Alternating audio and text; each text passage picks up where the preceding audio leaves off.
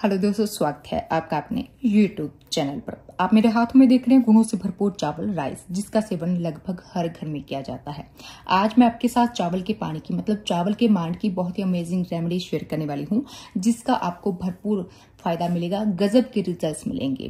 क्योंकि दोस्तों, चावल के मांड में एंटीऑक्सीडेंट्स वाइटमिन मिनरल्स भरपूर होते हैं, जो कि बालों को काला करने में, बालों को घना करने में बालों की ग्रोथ को तेज़ी से बढ़ाने में, बालों का झड़ना रोकने में बहुत ही ज़्यादा हेल्प करते हैं। आप में से कुछ लोगों ने सुना होगा, देखा होगा कि चाइना का एक गाँव है जिसका नाम है याओ। वहाँ की औरतों के बाल ताउमर मतलब अस्सी अस्सी नब्बे नब्बे साल की उम्र तक की औरतों के बाल काले रहते हैं, लंबे और घने और मज़बूत रहते हैं, जिसकी वजह से उनका नाम Guinness Book of World Record में दर्ज है। तो आप भी उनकी तरह भरपूर फ़ायदा ले सकते हैं चावल की मांड से। तो रेमडी को तैयार करने के लिए दोस्तों, आपको कम से कम छह से सात चम्मच चावल की चाहिए। सबसे पहले चावल को आप पानी से अच्छे से धो लीजिए। थोड़ी मिट्टी डस्ट होती है चावल चावल पर। तो अच्छे से धो लीजिए तीन से चार बार पानी से अच्छे से। उसके बाद ही आप रेमडी को तैयार करना शुरू कीजिए। चावल को साफ़ करने के बाद दोस्तों इसमें कम से कम डेढ़ गिलास पानी का ऐड करेंगे।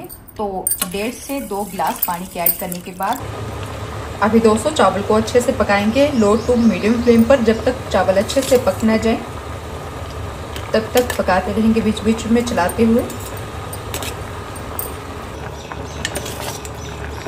चावल पकने के बाद दोस्तों ज़ाहिर सी बात है, चावल को आप खाने में इस्तेमाल कीजिए और चावल के पानी को रेमडी के लिए। तो गैस का फ्लेम बंद करेंगे और चावल के मांड को अलग कर लेंगे। चावल से? चावल का मांड दोस्तों, एक पैन में अलग ले लिया है। ये तकरीबन एक गिलास है और इसका टेक्सचर आपको दिखा देती हूँ। पतला है। ठीक है, चावल का मांड गाढ़ा नहीं होना चाहिए। अच्छा अभी दोस्तों हम गैस का फ्लेम ऑन करेंगे, लेकिन धीमी आँच पर, लो फ्लेम पर। गैस का फ्लेम लो फ्लेम पर ही रखना है। इस बात का खास ध्यान रखिएगा, मीडियम चाहे बिल्कुल नहीं कर सकते। अभी दोस्तों इसमें हम ऐड करेंगे आप स्क्रीन पर देख रहे हैं गुणों से भरपूर मीठी नीम की पत्तियाँ, कड़ी पत्ता।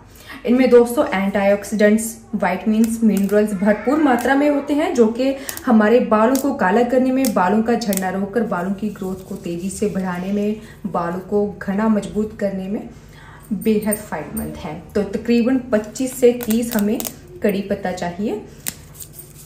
और साफ़ कर लीजिएगा।